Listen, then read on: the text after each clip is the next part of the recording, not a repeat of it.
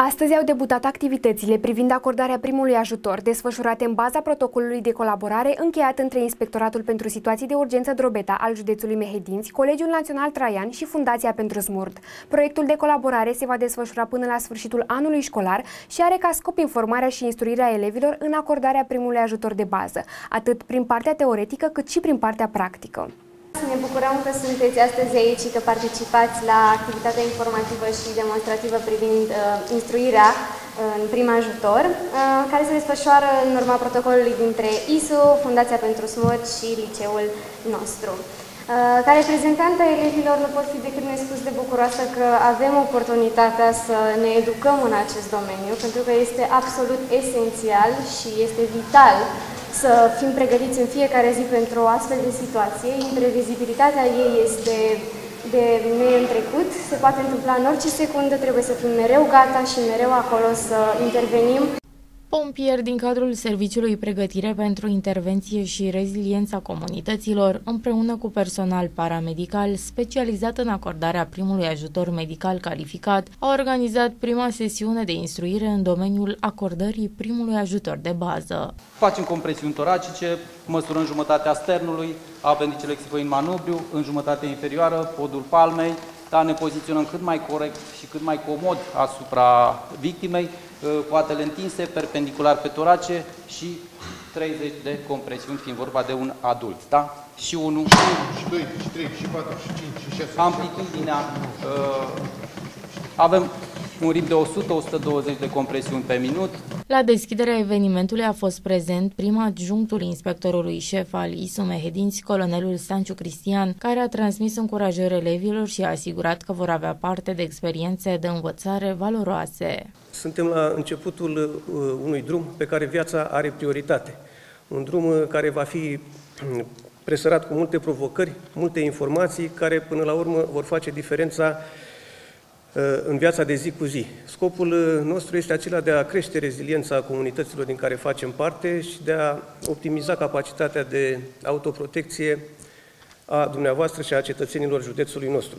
Colaborarea dintre cele trei instituții, ISU Mehedinții, Colegiul Național Traian și Fundația pentru Zmurt, vizează desfășurarea acestor activități de informare preventivă și de formare a deprinderilor, atitudinilor și aptitudinilor dumneavoastră pentru acordarea primului ajutor de bază în caz de nevoie. Prin aceste sesiuni veți fi mai pregătiți pentru oferirea unei intervenții rapide care să ducă la creșterea șanselor de supraviețuire a cetățeanului aflat în pericol. De asemenea, din partea Fundației pentru Smurd a participat Olteanu Adrian, care a mulțumit pentru această oportunitate și a menționat că prin intermediul protocoalelor de colaborare, Fundația își dorește să își atingă scopul de a introduce acordarea primului ajutor în programa școlară. Mulțumesc foarte mult pentru oportunitatea de a fi aici. Um, sunt foarte emoționat pentru că eu, deși lucrez în București la Fundația pentru Smur, sunt severinean deloc. Uh, cred foarte mult în acordarea primului ajutor. Asta facem, avem o componentă foarte importantă de educare a populației. Aș vrea să nu existe severinean care să nu știe să acorde primul ajutor. Um, ne, și, și noi avem o deviză că cine salvează o lume, cine salvează o viață, salvează o lume întreagă. Considerăm că um, primul ajutor e absolut uh, important, salvator de vieți și credem că prin intermediul uh, acestui protocol de colaborare și a altor protocole de colaborare pe care le facem în școli, să ajungem în punctul în care să putem include primul ajutor uh, ca materie în curicula școlară.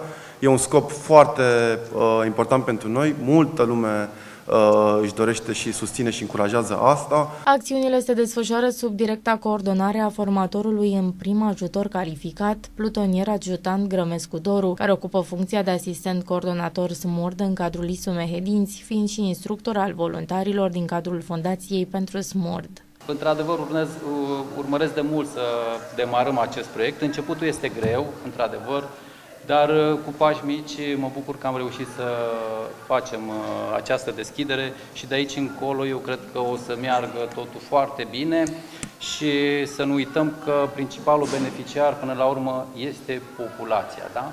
Noi ceea ce învățăm aici transmitem mai departe și oarecum ne asigurăm că, eu cel puțin, vreau să mă asigur că atunci, dacă vreodată o să se întâmple să am nevoie să primesc îngrijiri medicale în cazul, nu știu, o fi traumatism, o fi orice altceva, să mă bazez că, da, într-adevăr, oamenii pe care i-am întâlnit aici au învățat și au reușit să ducă mai departe. Proiectul de colaborare se va desfășura până la sfârșitul anului școlar și are ca scop informarea și instruirea elevilor în acordarea primului ajutor de bază atât prin partea teoretică cât și prin partea practică. De asemenea, în cadrul activităților informative educative, acestora le vor fi prezentate reguli și măsuri de urmat la situația producerii unor situații de urgență. Numărul uh, reprezentanților din partea elevilor este considerabil, aș putea spune, iar interesul este clar uh, mărit. Uh, studiile arată în general că atunci când cunoști să intervii în ceea ce privește acordarea primului uh, ajutor, se mărește considerabil șansa de supraviețuire a pacientului sau a, celui, a victimei respective. Este important să învățăm să acordăm primul ajutor, este important să recunoaștem atunci când avem de-a face cu un stop cardiorespirator, atunci când avem de-a face cu o obstrucție, să spunem, de cala aeriană, să recunoaștem diverse traumatisme care pot să survină în timpul unui accident și să intervenim cu atitudine uh, și cu deprinderi și aptitudini necesare în ceea ce privește Uh, acordarea primului ajutor. Elevii vor putea afla cum să recunoască o urgență medicală, cum să solicite ajutorul prin apelarea sistemului 112 și cum să aplice tehnici de prim ajutor, verificarea nivelului de conștiință, verificarea funcțiilor vitale, deschiderea căilor aeriene, efectuarea resuscitării cardiopulmonare. Aceștia sunt foarte receptivi la toate informațiile prețioase primite, chiar dacă erau familiarizați cu acestea, cunoscându-le în cadrul clubului Hell Series din liceul lor care a fost înființat în acest sens. Astăzi, uh,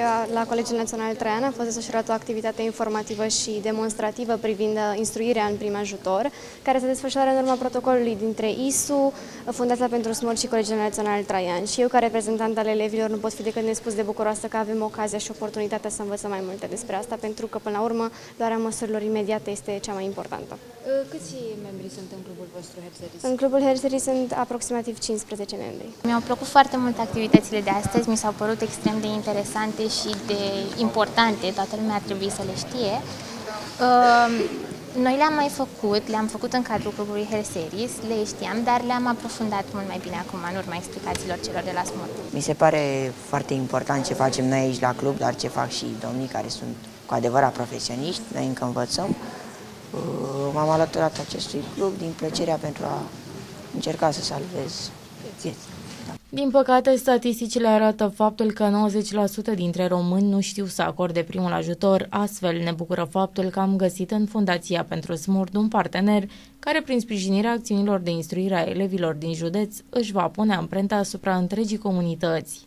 În unele situații în care fiecare secundă de întârziere poate fi fatală, o intervenție rapidă și corectă poate salva vieți până la sosirea ajutorului specializat. Proiectul se va implementa în primă fază la Colegiul Național Traian, unde a fost primit ca o noutate extraordinară, atât de către elevi cât și de personalul didactic, urmând ca ulterior acesta să fie extins și la alte unități de învățământ din județ.